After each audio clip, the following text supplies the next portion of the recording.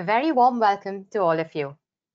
We're really pleased to have you here today at our virtual conference, and we hope you've enjoyed the first session should you have attended the same. Our topic for this panel is Hidden and Vulnerable, Promoting Decent Working Conditions for Home-Based Workers. We're going to focus today on the unique challenges of understanding, identifying, and managing home-based workers in the supply chain.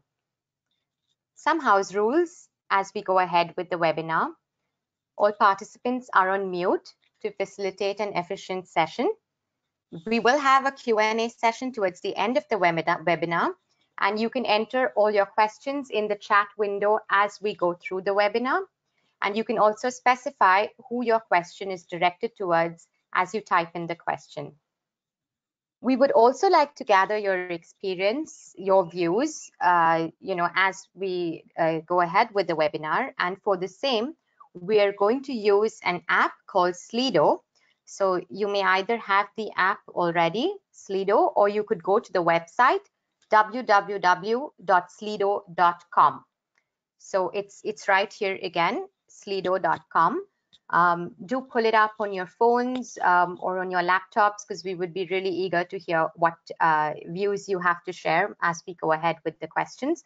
We're going to gather some inputs via polls and Q&As. And as you pull up the website, uh, you can use this code for our uh, session today, hash 69126. So repeat it again, hash 69126 we have lovely speakers joining us today from different corners of the world, and it's my pleasure to introduce them. So we have Jean Johnson, who's the Goodweave Director of Apparels and Accessories. Mm -hmm. We also have with us Shanaz Rafiq. She's a trade union organizer, trainer, and leader from India. And we have Lucy Brill, who's the Director, Home Workers Worldwide and myself, who's going to moderate it, Natasha Majumdar, Network Representative for India, Amfori. So I now would like to request all of you to turn towards Slido. Again, www.slido.com and use the hash, the code hash 69126. As you entered this in, the first question we have for you is, are you aware of home-based workers in your supply chain. We'd like to gather your inputs on are you aware of home-based workers in your supply chain? To give you perspective, this is the app. It, it pulls up and you'll be able to see a question shortly via on the app or the website.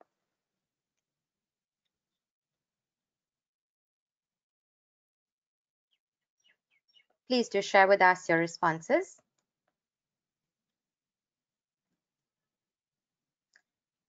I'll pause for a moment as we gather your inputs. And I am just assimilating the same as you enter your details.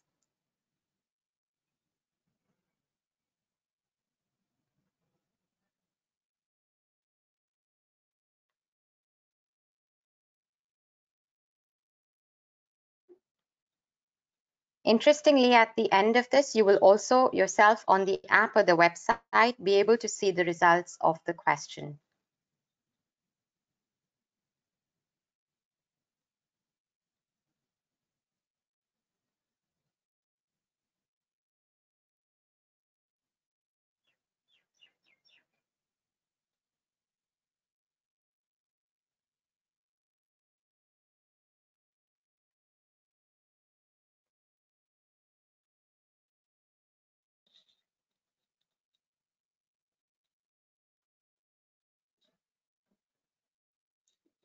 Okay. Thank you for all your responses. Um, as we gather this, we will share with you the inputs that we have at the end of, uh, towards the end of the webinar, just before the Q&A. Uh, but I close this question for now, and we move ahead to the next question. What risks do you associate with home-based workers in your supply chain?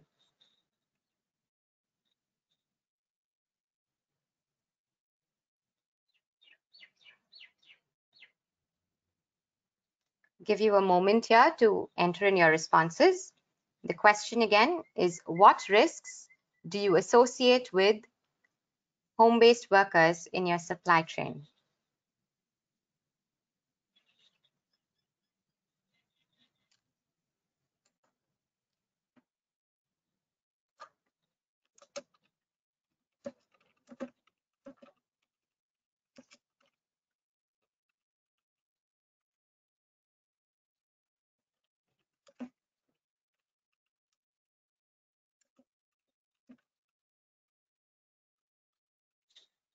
Thank you everyone for your participation and your inputs.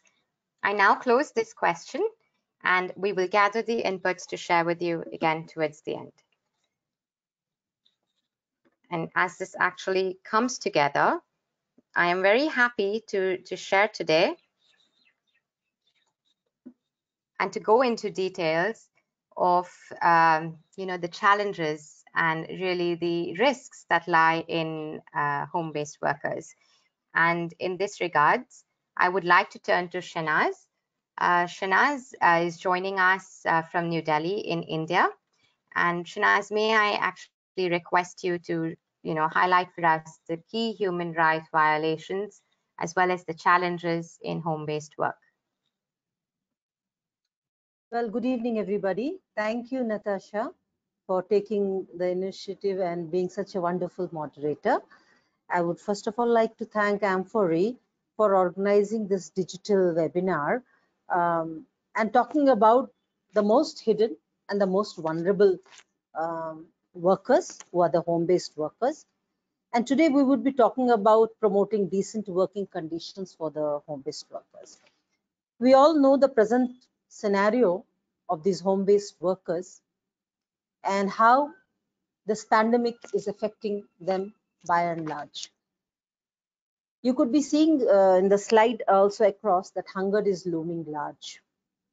And the biggest challenge today for these home-based workers who are the most vulnerable, who are the most uh, um, desperate and devastated community today across the globe, also in India. And the largest challenge today for them is the livelihood, the food security, the job security, the income security, their social security. This is the largest, the biggest challenge here also in India. But adding on to the agony today, what we find here in India is that the present state gov uh, central government is squashing the laws and there is uh, no one to talk about their right to live, right to food, right to livelihood. And hence comes the um, devastating condition of these workers when they start migrating from their uh, place of work towards their hometown stranded in millions and millions dying because of food and hunger and water. And no um, facilities being provided by the central government reforming labor markets have suspended the key laws which lead to debasement of the labor rights also and intensifying the informality and the precarity and exploitation. Multiple labor market issues like employment, health, safety, skills have weakened and there is nil incomes. So what uh, as trade unions we find that these home-based workers who have who are hidden ones they are not known. They don't know they're they are themselves invisible working for the visible products working for the invisible employers. They don't know about their employers also. So does the global chain supply workers have stomach? Definitely. They need they need food they need occupational health and safety and they need a job security which is at plight at this present pandemic. Added uh, on, let me also not forget these home-based workers are in large numbers and a larger chunk force are the women chunk force who are working maybe at ready-made garments, maybe with for leather, maybe for tannery, in uh, artificial jewelry, uh, and also footwear. And they are girls in the front and center of the COVID response and recovery. So economic opportunities, education, and domestic gender norms should be the area of focus now. There is no data available for these home-based workers yet, and we should have a sex uh, aggregated data. Women play an outsized role in this crisis in the healthcare, in the social worker side, domestic worker side, home-based worker side, mobilizers of the communities. Hence, there must be a gender lens also on the response of this COVID. Now, this indifferent governments with policymakers and social uh, uh, attitude, both at the origin of the country where the uh, products are from and at the receiving country where they are making. Even United Nations says that it can have a huge knock-on effects on the women health and specifically women's sexual, mental, and reproductive health is being at stake. We are seeing how COVID-19 highlights global neglect of women. We have to safeguard the maternal, sexual, and reproductive health also, prioritize the gender equality in health system, tackle the gender-based violence, and maintain an access to education and health, protect the economic opportunities uh, most of the states, around 12 states in India, are freezing up these labor laws, and this will add to their agony. They are losing their livelihood. There is no remittance. There is stress on care and um, home-based workers, lack of social production and healthcare, limited freedom of movement, violence and discrimination at the core, irrespective of the uh, migration status also they should enjoy their rights the human rights. All human rights workers rights are human rights. So they should have access to health to police to justice and to social services also. Now what measures are being taken uh, is uh, very difficult to say. Leaving aside some of the trade unions and some uh, small uh, NGOs and CSOs who are feeding these migrant stranded home-based workers and migrant workers on their path and trying to see that they try to sustain, but this is not sufficient. We are lacking uh, in statutes, we are lacking in weak regulatory uh, system mechanism and providing uh, impunity to the employers and agents and the contractors furthermore. So what we as trade unions are also looking forward to why not we uh, develop some helpline numbers for these migrant workers and these and the role of the manrega scheme that we have in india that 100 days of job security should be available at their hometown. Let us increase that 100 days to 200 days. Let the state central government provide a, a amount of at least 10000 to the marginalized and the vulnerable people who are returning back to their uh, hometowns so that at least they can sustain themselves for one or two months. Why not we talk about investing more on the MSMEs and the small scale industries so that more job is created at the hometowns instead of giving loans the central government which is planning to give trying to give loans to these MSMEs small scale industries and um, the macro and uh, mini uh, mini small scale industries why not we uh, the central government provides them economic empowerment which will also generate some job for these migrant and stranded uh, workers at their hometowns. We have to jointly hand to hand work with the civil societies and concerned citizens.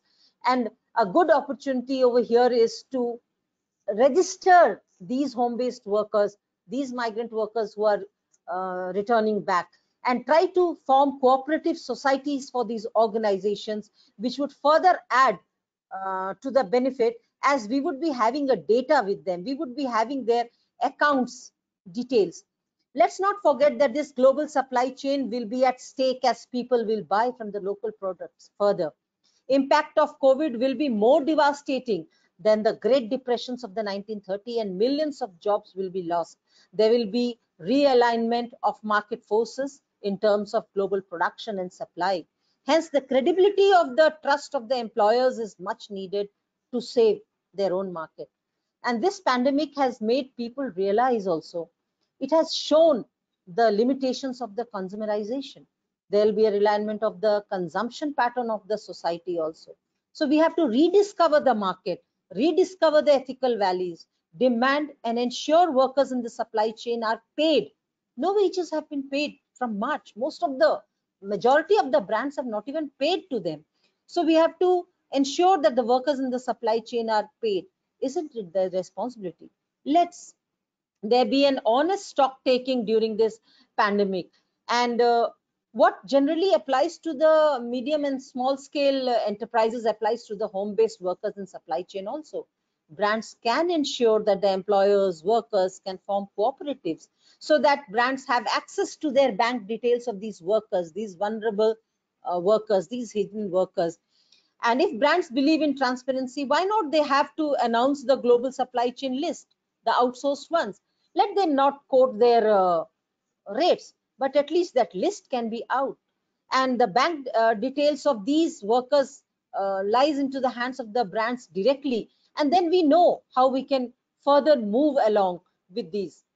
Even uh, the all india unorganized workers congress of which i'm the national coordinator of home based workers we are now emphasizing on the healthcare system and training and pressurizing on the public health system also in the public distribution system for the food security. This is the right time to focus on the unorganized in their hometowns registration. And the membership of these the true membership of these home-based workers can be found. The, the, they are losing their livelihoods. There is lack of social production. There is lack of social security. There are various schemes in our country, you know, um, as 93% of the informal workers are there. We know that they are 93%, but what are we doing? So as trade unions, let's create awareness about the uh, corona. Let's create an app to reach out to them through pictures, through voice messages, through messages.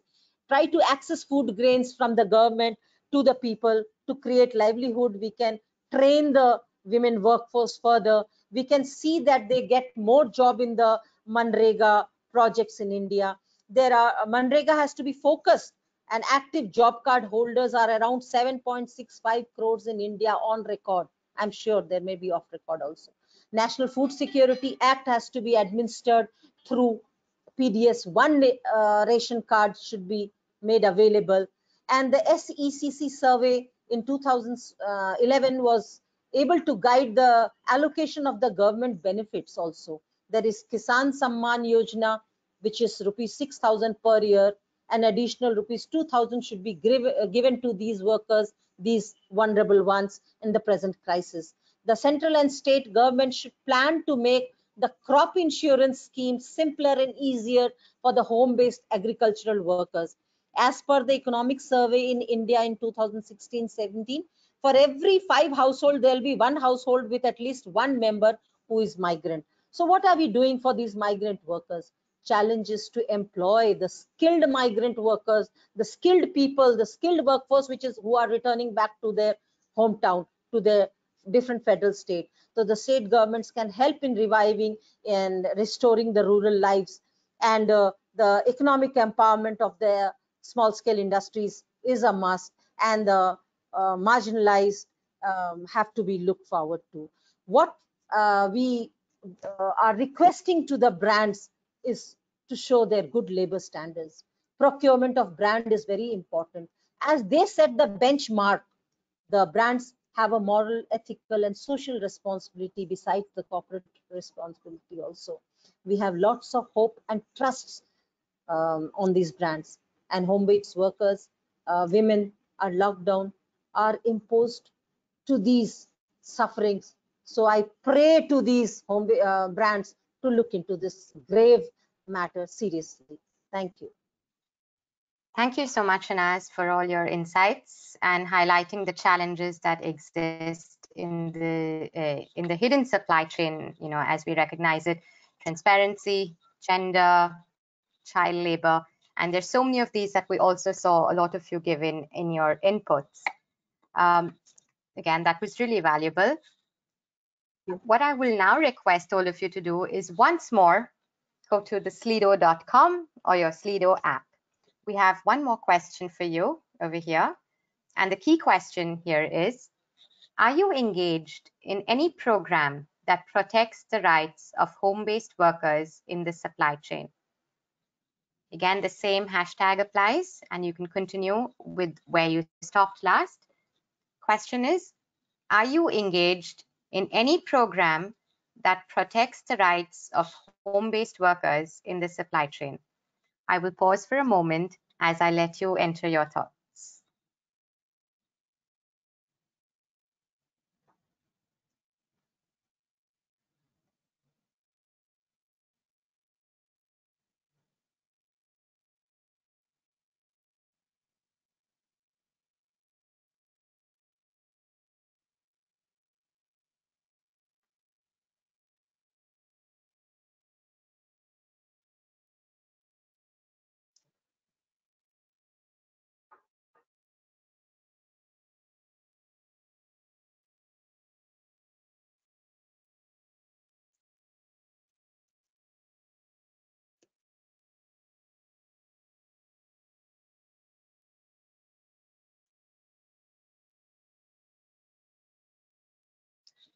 Thank you, everyone.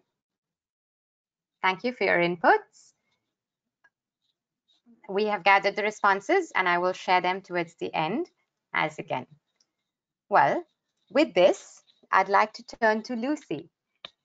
Lucy, thank you for joining us once again. And, uh, you know, I would like to actually turn to you to really share with everyone that's joined us today, you know, the role of stakeholders. So what is the role that stakeholders can play in mapping of home-based workers where we recognize transparency is a challenge, as well as the best practices of mapping and managing home-based workers. Thank you. Hey, um, hello. Um, thank you very much to Natasha and to everyone at Amfori for this opportunity to join you all today. Um, my name is Lucy Brill. Um, I work for an NGO that's based in the UK um, that's been working for over 20 years now um, in support of home workers and their organisations in the struggle for rights and respect. Um, we're actually part of an EC funded programme at the moment that's um, about trying to improve working conditions for home workers in global supply chains in India, Pakistan and Nepal um, in apparel and footwear.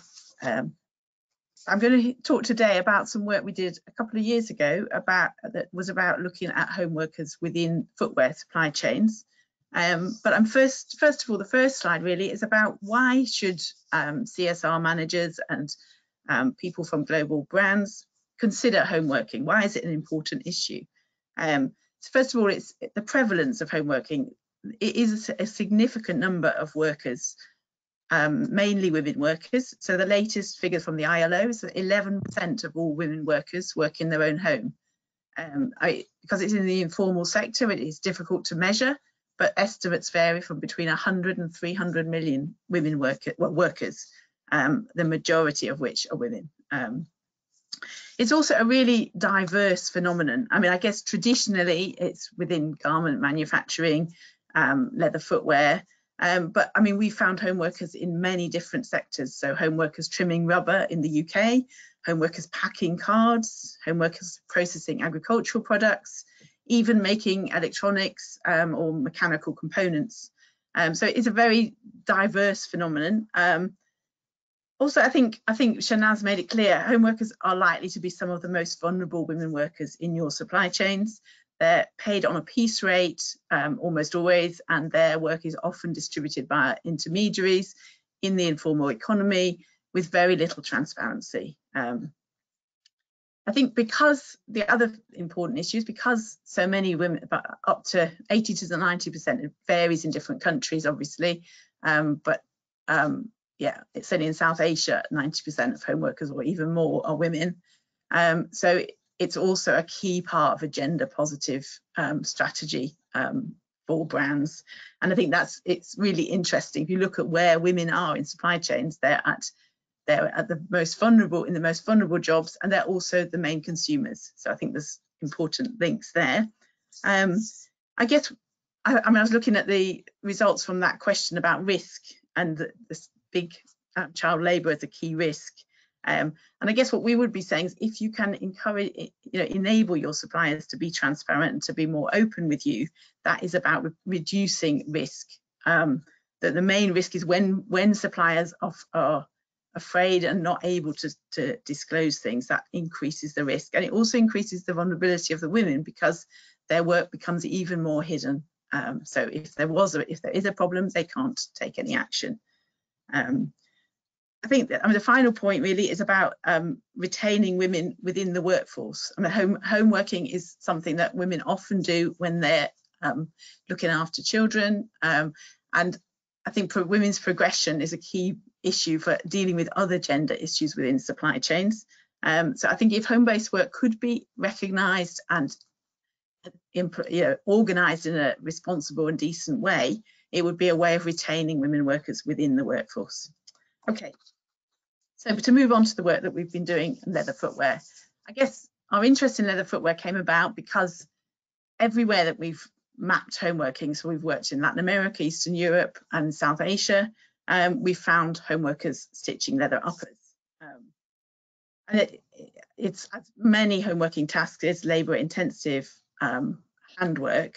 Um, it's also quite a good sector to start with because it's not as mobile as sewing and so it tends to be, uh, in our experience, shorter supply chains, so easier to get um, to, to, trace. Um, but as I've said before, paid on a piece rate.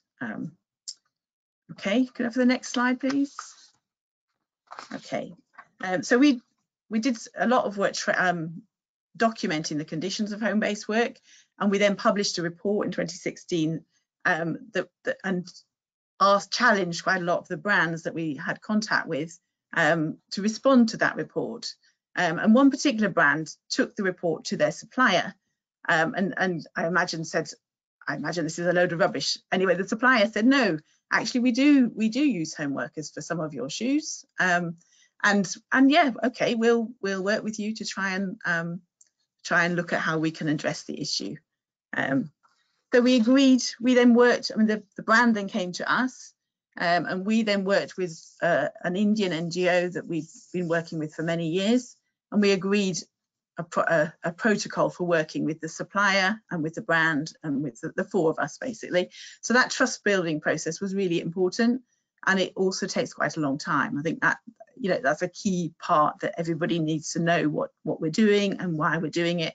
And there was a and clearly there was a commitment from the brand to to get that supply chain working better. Um, it was an important product for them. Okay, um, so what we did then hang on, I think we're going very quickly, sorry. Um, yeah, so in terms of mapping the supply chain, um, we traced um, the brand, the, the, supplier introduced us to the different people involved in the process. We interviewed the agents, we interviewed home workers. We also did what we call value chain mapping, which was following specific shoe styles down the chain um, and, and uh, enabling us to document really clearly the piece rate. And then the supplier was able to do a time and motion study to work out how far below the minimum wage the home workers' wages were. Um, okay, could we have the next slide, please? Next slide. Okay. Okay, so this, this slide really is just looking at if a brand is concerned that home working might be within some of its supply chains, what, what does due diligence look like for brands? Um, so the first thing for us is that a brand should have a clear home worker policy that if because many brands do ban home working. I think in our experience, suppliers are really scared to talk to brands about, um, they might know that home workers are involved um, for some of their subcontractors, but they're very scared to talk about it. So we would say if you have a clear policy that says it is okay, um, that we want you to disclose home working and work with us to manage it, um, that obviously enables them to talk about it. And then if you have a policy, to raise it with your suppliers, to include it within your supply chain management conversations with suppliers. Um, then the next stage is when suppliers do disclose, it's about encouraging them to be transparent and you often then at that point do need to be looking for local civil society organisations or local trade unions to engage with the home workers and also the agents and intermediaries and unpacking that chain, understanding the roles of the different people, um, and working. I mean, certainly in the leather chains, the intermediaries also had an important role to play. They were transporting the uppers from the factory to the work to the women. They were also managing the work and they had a quality, they were involved in the quality. So that chain, the intermediaries too needed to be paid, need to be recognised and paid. I mean, that isn't always the case, I'm aware, um, but it's it's that process of unpacking what is going on.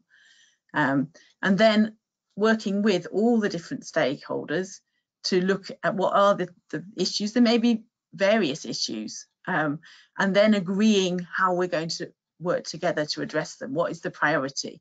And I think there it is really important that the home workers are actively involved in that process. They are the most vulnerable people in that in in that process. Um, so I guess their priorities need to be need to be listened to and, and recognised.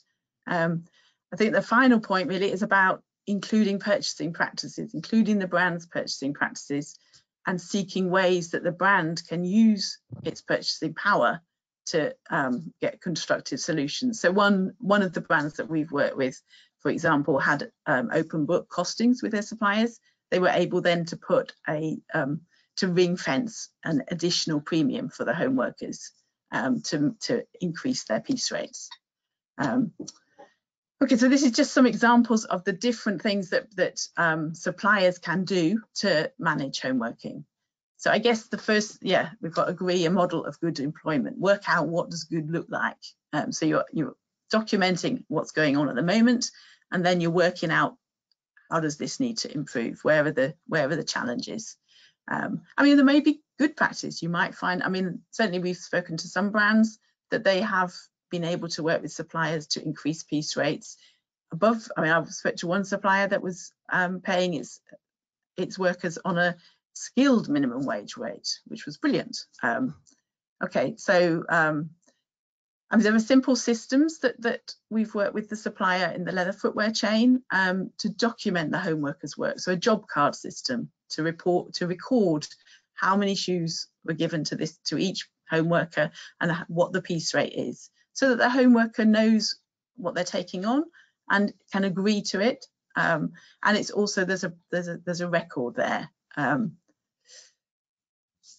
I think it also recognizing that this process of change requires support from all the different parties that is and and as I said before recognizing the the roles of each person um, and and and there may be a training need there um, so that people if you're going to introduce a job card system that is something new that people have got to be able to do. There may be maybe issues of literacy. Um, and it's also, I think, look what, what's quite interesting, we're looking at could mobile phones be used in that process? Um, I think, as I've said before, including the home workers as active partners in that process is really important. Um, and that's also about access to grievance. I think you can have the most brilliant um, job card system, but if if the home workers can be you know don't have access to grievance they can be made to sign anything. So i think you do need you need both um, things. I think also the final point about leverage um, that's that is really important that that oftentimes especially with smaller brands um, it, they will need to be teaming up with other people. You sometimes the agent is taking work from two or three factories and the factory may well have work from two or three brands. So again it's that kind of it's trying to get um, coordination across a sector. Okay. Um, okay. I mean, this is yeah. This this is the final slide. Really, is coming back to some of the points that were raised um, by Shanaz. Really, um, but the the impact of COVID-19. I think it is really obvious because home workers are so informal and because they're not they're not recognised as workers. So even the limited support that that that governments in, in the global south have been able to provide for, for workers that are formally employed, um, those very rarely reach the home workers. Um, obviously, the factory is, is struggling to survive and to pay its, its factory workers. It's even less likely to pay its subcontractors and home workers. Um, and they're also, because they're informal, they're rarely entitled to social protection. So again, they don't have access to um, healthcare or, um, or social security. Um, so that is a real vulnerability. Um, I think I mean, the lockdown in, in, in many countries is also making it really difficult for them to use informal methods to get their um, to get money that they may be owed. So they can't go out and find the intermediary, give him hassle, which is what they would traditionally be doing. Um, so yeah, I think, and then the final thing is being obviously if there's a lockdown um, in very small houses with lots of people, there's an increased risk of domestic violence and abuse. So I mean, it is this is a really important area of work. Um, so thank you. Thank you so much, Lucy, for sharing with us those details, you know, particularly with regards to the mapping exercise, the due diligence requirements, as well as the impacts of the current crisis and the challenges that we see. Mm-hmm. Uh, with this, I would actually like to turn to Jean. Uh, Jean, thanks for joining us once again. And if I could call upon you to, you know, highlight how buyers, uh, you know, can assure producers of their commitment towards a continuous improvement uh, program and how producers can be enabled to manage home-based work. Over to you, Jean. Thanks. Great.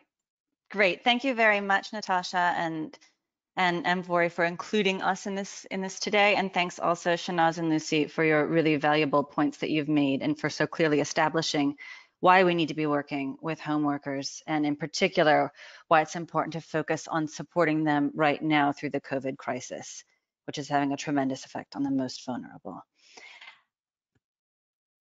I'm going to quickly cover a few slides today. First of all, starting by giving you an introduction to Goodweave, who we are and what we do, and then I'll walk you through our system, how we address this issue of promoting decent working conditions for home-based workers and walk you through our, our supply chain assurance process and give a short case study. And then I'll wrap up with some recommendations for you based on our experience in terms of how you can best support home workers as brands. So Goodweave. Goodweave's mission is to end child labor in global supply chains. Um, and we see addressing adult circumstances as central to our approach. So we have a strong focus on decent work principles in our standard, and we apply the standard to all tiers of production, starting at the tier one factories and going all the way down to the home workers. We also prioritize forced and bonded labor investigations and remediation. We were started 25 years ago um, to attack the issue of child labor in the carpet sector. And over the years, we've rescued almost 8,000 child laborers and prevented, tens of thousands more from being exploited. And over these 25 years, we've developed a proven approach to end child labor and forced and bonded labor.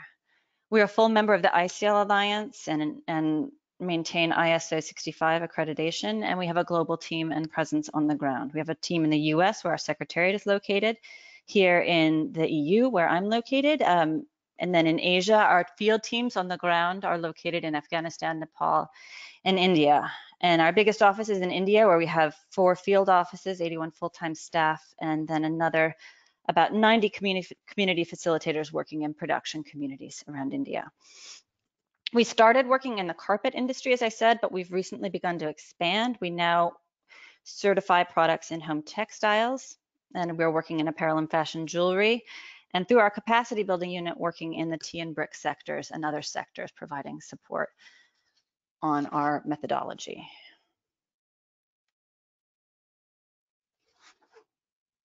I'm trying to change to the next slide. Could you help me, Natasha? Thank you. And our approach is based on five pillars. The first is harnessing market forces. That means we start with partnerships with brands. Um, to create a market for goods made without child labor that are Goodweave certified and labeled. And this relationship with the brands provides leverage in supply chains to change behaviors and practices permanently. We've got 171 brand partners right now, including a few Amfori members, including Target, Otto, and C&A. We then connect through these brands with their suppliers to create transparent supply chains. And we apply our standard, which you can find on our website. We'll show the link at the end to these supply chains and verify compliance by continuously mapping and inspecting factories, work sites, and facilities all the way down to small village subcontractors and individual homes. And we believe in inspections that are random, unannounced, and quite frequent. And this leads us to finding these exploited children and workers and also serves as a deterrent to bad labor practices. Right now, we're monitoring about 5,000 work sites, and we've rescued over time 7,600 children from child labor directly.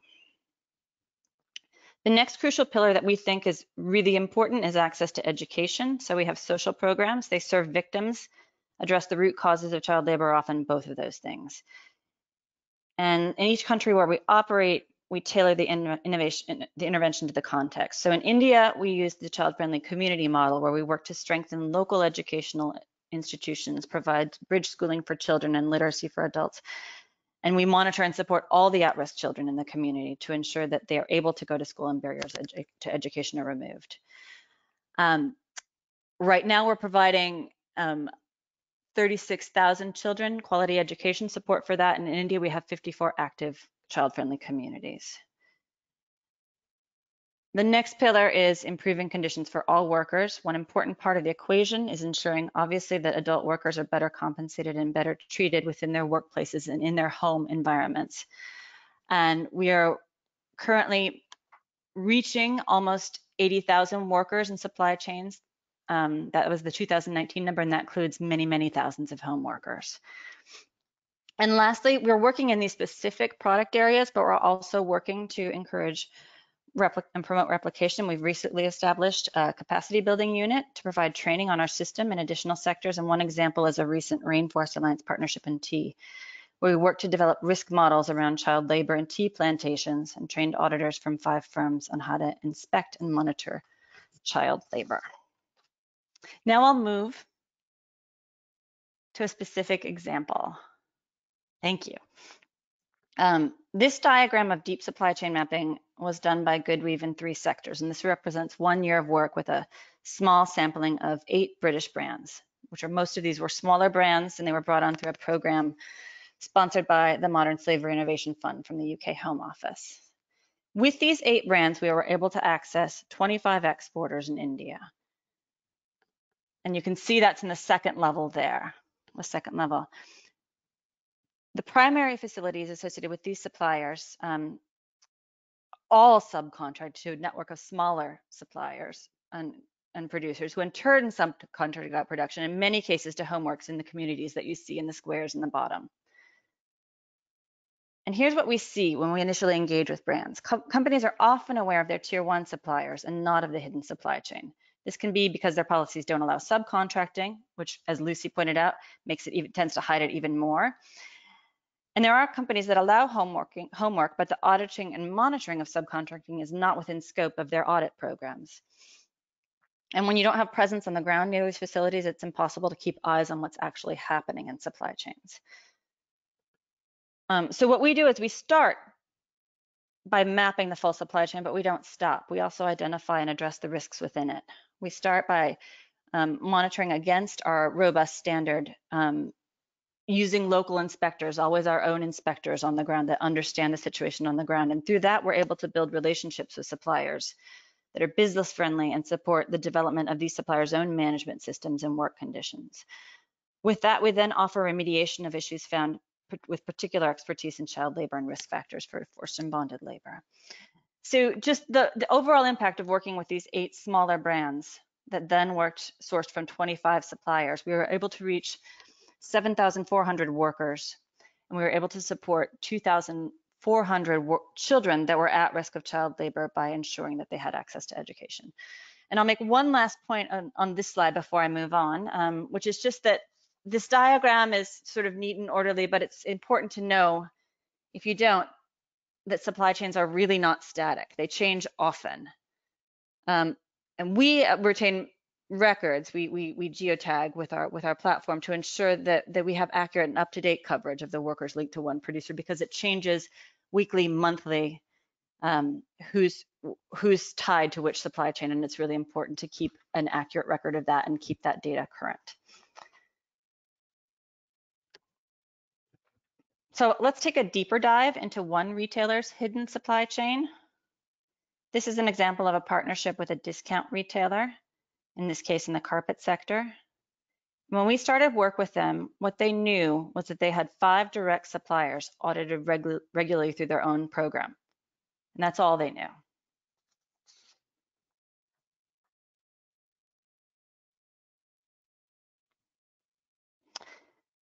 Working with us and with deep and ongoing supply chain mapping, we uncovered 987 subcontracting units including many, many home looms. And those subcontracting units are now monitored and have oversight on a regular basis. Other results of this partnership, um, the regular inspections against our standard highlighted child exploitation and other issues, and as always, a remediation plan was worked out and implemented with the suppliers. This particular retail also embedded our child protection policy, which you can also find on our website, and adjusted its requirements, its own requirements to make them stronger as a result of our work together, thereby improving the whole supply chain. And I guess let me, one last point on that slide. I just want to raise the point that the suppliers themselves, the exporters, generally don't have this level of visibility themselves through subcontracting. They know who they're subcontracting to, but they really almost never know where, where the further tiers are located. And so generally we find that this information becomes very useful to suppliers um, as well as to the brands, of course. Okay, so now, now to the recommendations. So now, based on our experience in the ground and a little bit of what I showed in these case studies, I want to share some key recommendations that we believe brands should consider when they want to ensure decent working conditions. And 15 minutes of time or five minutes that I think I have left isn't really enough to get into detail. So I'll speak quickly at a very high level. Um, the first thing that needs to be considered is that corporate policies allowing home-based work need to be implemented. If it's not allowed, it will be hidden. Beyond just setting the standards, it's also crucial to have a corporate commitment to acknowledging informal work and have suppliers ready to commit to full disclosure. And they need to trust that they won't be penalized for that. Then you have to have a clear standard set up that will verify these labor conditions, and this needs to be really clearly communicated to your supplier partners. It's really important to balance strong requirements for no child labor and forced labor along ensuring real-time remediation. And you need to have guidelines for continuous improvement to stimulate improvement over time and ensure that parents and adults have access to the decent work and can afford to send their children to school. So once standards are set, the supply chain mapping needs to start um, to uncover these hidden um, layers of the supply chain. And to do this, you need to establish an effective assurance system, which includes ongoing supply chain mapping and to do this, you have to build trust with suppliers and workers to access and share information. When you work with suppliers together to remediate issues rather than dropping them or finding them when non-compliances are uncovered, they do become more willing over time to work with you. And it's really important to meaningfully collect and use the data to identify where your risks are where the hotspots are. We've developed an online platform, which I referenced earlier, the supply chain transparency platform, that allows us to do this and our inspectors capture data on tablets, which allows us to actually pinpoint physically the locations where problems are occurring and the regions that are occurring.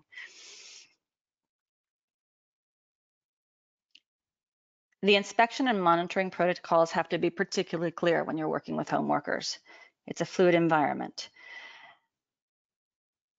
They need to include random and unannounced inspections, we believe, by teams in proximity to supply chains. And these inspectors need to be have clear instructions on how to conduct inspections at all tiers of production because the techniques need to be quite different when you're working with home workers. When we've done benchmarking with existing audit frameworks, we've seen that these protocols are really very rarely developed for home workers. They, they stop, if they go to the tier two factories, that's, um, they always stop there. They, they rarely go further. And lastly, you need to have the capacity and any inspectors that are working in the supply chain need to have, must have the capacity when working with home workers to address cases of non-compliance on the spot, particularly when you're talking about issues of child labor. Next, remediation. As I just mentioned, it's really important to act quickly when you're when you're talking about child labor or other serious labor rights violations but that has to be combined with a medium and long-term corrective plan put in place to prevent recurrence. And the brand should always try to work with the supplier to remediate the issue. Walking away from the supplier when issues are uncovered is not a solution and worsens home-based worker conditions across the board, across across the board. Also, we have to remember that suppliers are not expert at remediation and they need support, which is why connecting with a credible local partner is key. And these partners need to be mapped out in advance as a part of the strategy. And lastly, to really ensure decent working conditions for home-based workers, the root causes need to be addressed. Um, this includes when you're talking about issues of child labor, which is very important to us, building social norms in communities against child labor, as well as promoting rights and better working conditions for adults. This can take the form of education programs, rights awareness and skills development for workers in the supply chain, as well as has been highlighted already, um, health checks and access to support and for, for health and safety, which is especially crucial right now. We're focused right now on delivering health information and PPE to these most, most vulnerable workers and have set up a fund to make sure that we can reach as many home workers as we can to make sure this important and crit critical information is conveyed to them. And I'm to the last slide, um, which is partnership models. For anyone who wants to learn more about working with us, we have three types of partnerships. The first is certification for carpets and home textiles. The next is supply chain assurance for apparel and fashion jewelry. And lastly, as I mentioned, we're building out our own capacity to do capacity building. We're finalizing some trainings to share knowledge and build capacity with other organizations based on our system to eradicate child labor and, and ensure decent rights for home-based workers. Ensuring decent rights for home-based workers is a crucial part of this. Um, so thank you for listening to me today. I hope I didn't talk too fast and I'm um, on the last slide, you'll see my contact information.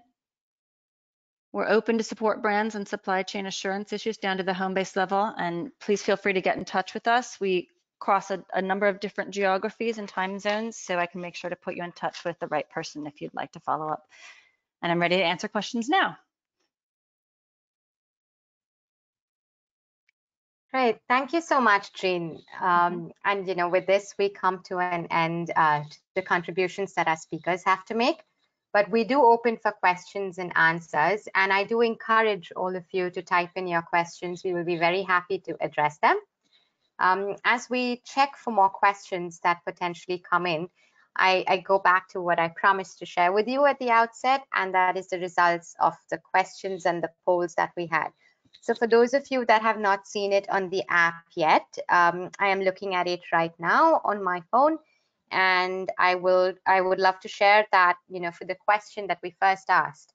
Are you aware of home-based workers in your supply chain? 41% uh, of you answered yes, 26% no, and 33% not sure.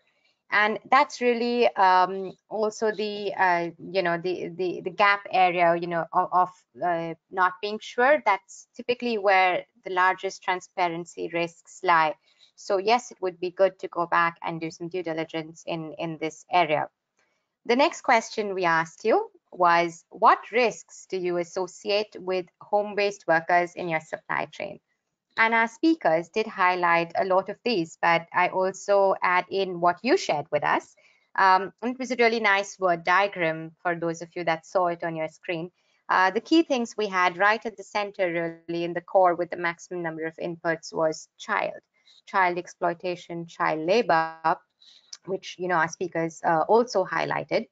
Um, working hours, um, you know, um, wages, no way to verify uh, and and really track uh, uh, the conditions in in this supply chain, uh, which goes down below the tiers all the way down to the home-based workers, security for the workers, um, social security, um, and and a lot of inputs on wages also, which are which are recognized. Um, and then for the third question that we asked you, uh, are you engaged in any program that protects the rights of home-based workers in the supply chain? 20% uh, of you answered yes, 65% of you answered no, and 15% not sure. So with this, I'd like to once again thank you for all your inputs uh, to the questions, and I hope you know that trigger some thoughts for you on your end also as you listen to what our speakers have additionally shared. Uh, we do have one question that I, I see and I would be very happy to take it up. Um, the question here is how to decide a fair piece rate. Um, uh, Michelle asks this question. Uh, Michelle, I don't see any particular speaker that you have directed this question to.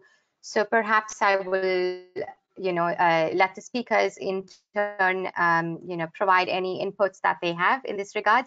Perhaps we start with you, Shanaz. Uh, any perspective on how do we decide a fair piece rate? It's very difficult. It totally depends on the contractor. It depends on what rate the raw materials is brought by he gets and then he sublets it to the agent and at what rate the agent gets it and at what rate he gives it to the subcontractor and the petty contractors. And then the home-based workers get the raw materials.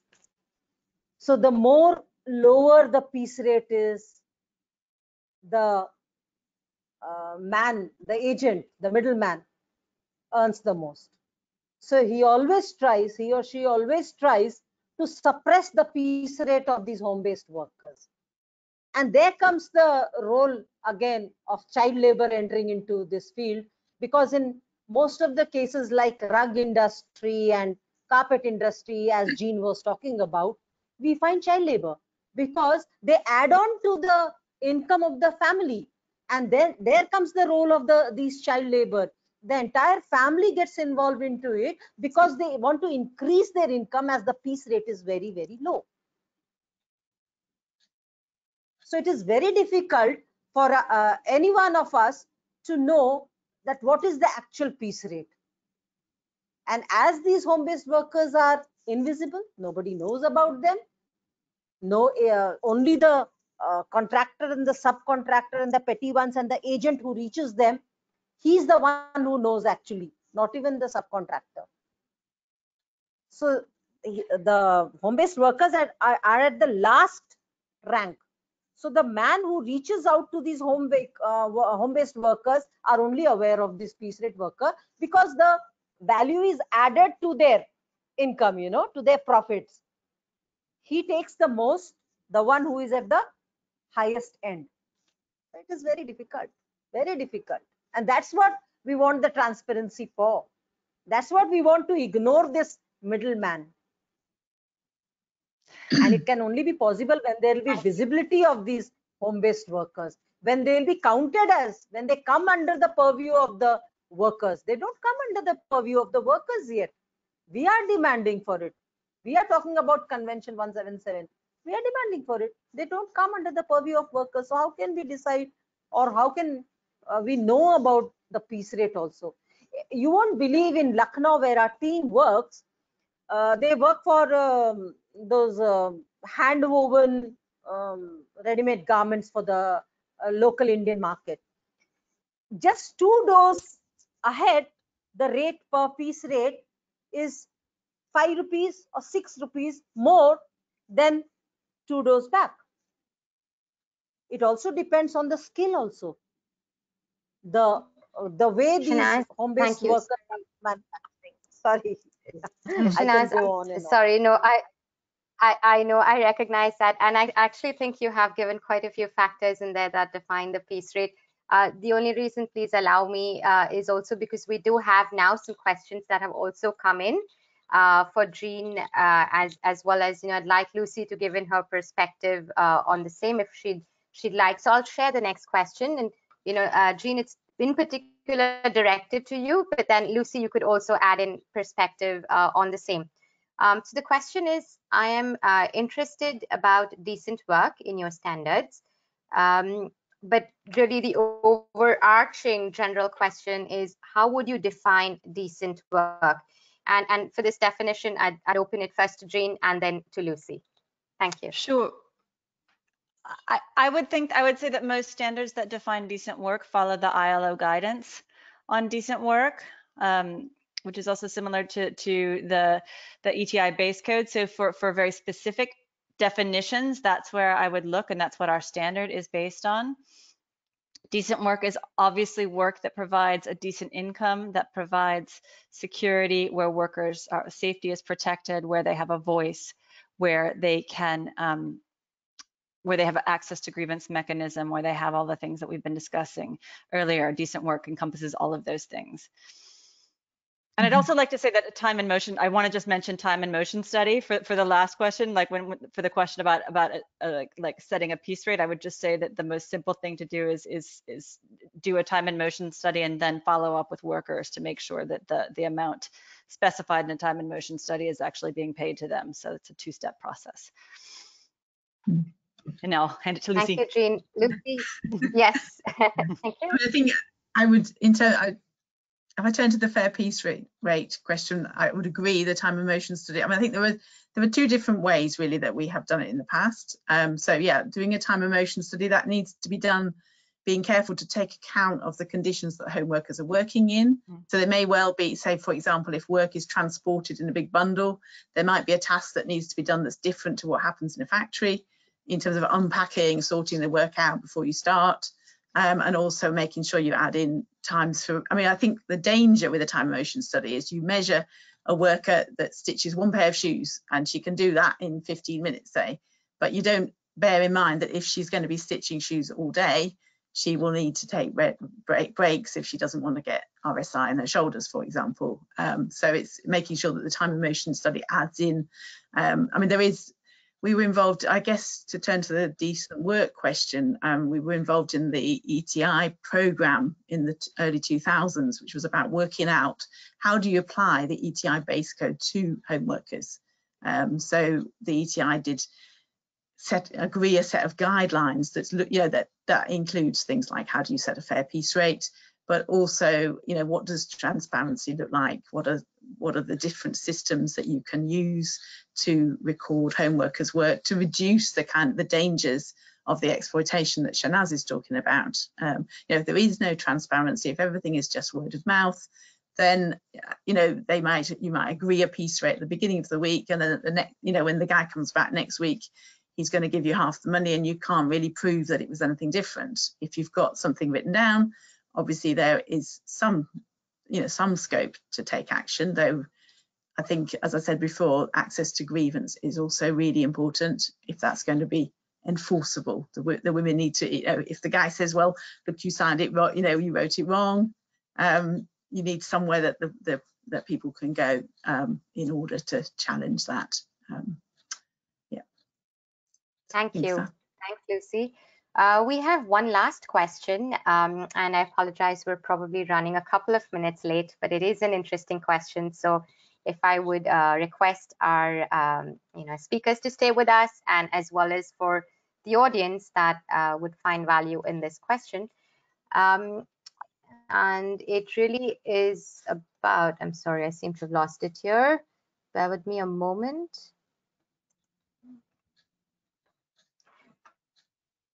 Okay, so it's a, it's a question which says, is it possible for the brand to set up direct business relation with home-based workers and set up an ideal minimum piece wage rate instead of going through the middle agent? Would that be a solution? Open to all our panelists because I think this is something that um, you know I, I, can see all of you have thoughts to share. So perhaps we start with you, Lucy, and then Jean, and end with you, Shanaz. Okay. I mean, yeah, thank you. I mean, it's, it is a really, it's an interesting question. It's a very attractive question. Um, I think it comes down to, well, well, I guess my response would be, if you're mapping the supply chain, it's understanding what are the roles that the different people are playing in that supply chain. Um, so if there are intermediaries who are basically just taking a cut, well, clearly they can be cut out of a supply chain um, however, but it often is not always so simple. Um, so, I mean, if you're dealing with a situation where you've got women that are a long distance away from the factory, uh, possibly they're in a, a, context when they cannot jump on a motorbike and go and collect the work from a, you know, they've got small children at home, or maybe for culture, they haven't got access to a motorbike. They don't, you know, there, there are lots of reasons there may be cultural norms that make it very difficult for them to do that. So I think it's not to say it's impossible, but I think you do need to understand the various, the, the different tasks and roles that need to be factored into doing that.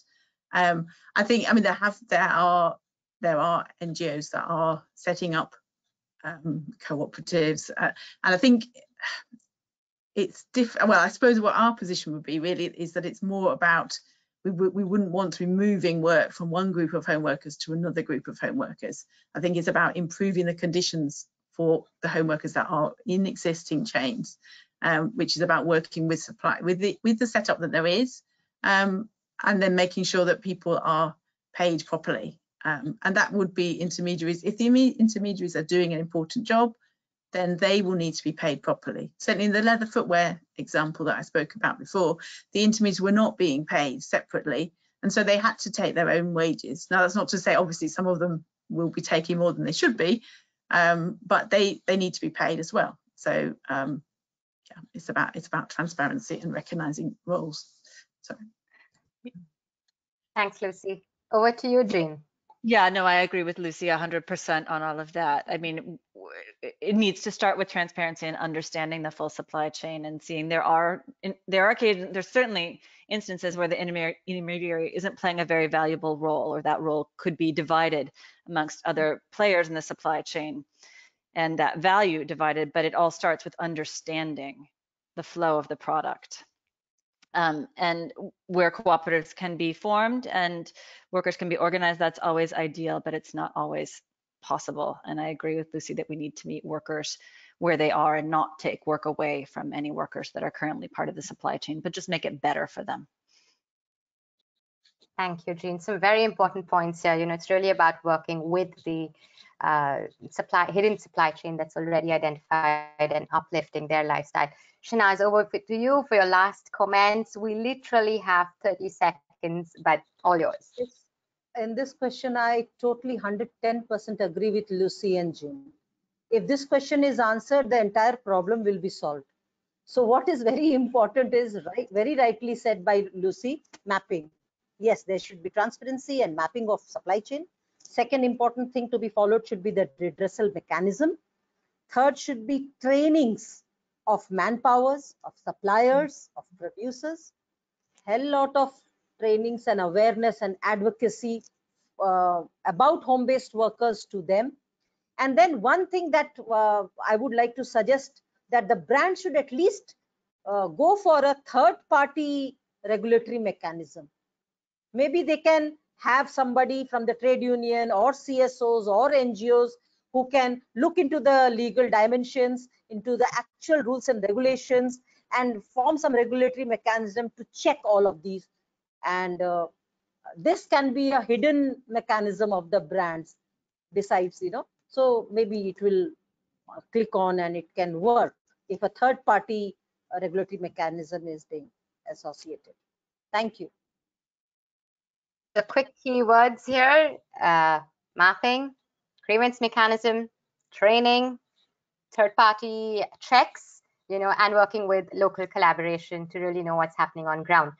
That's great. That's wonderful. Thank you so much, you wonderful ladies, for all your insights and all the valuable experience, you know, you shared with us and the audience today. And I hope all of you joining us have found value in this session and have some thoughts that you take away with you as we call it a close. Thank you very much once again, and I wish all of you a wonderful day ahead and a wonderful week that lies ahead. Stay safe. Take care. Bye-bye. Thank you. Thank you, Thank you so much. Thank you.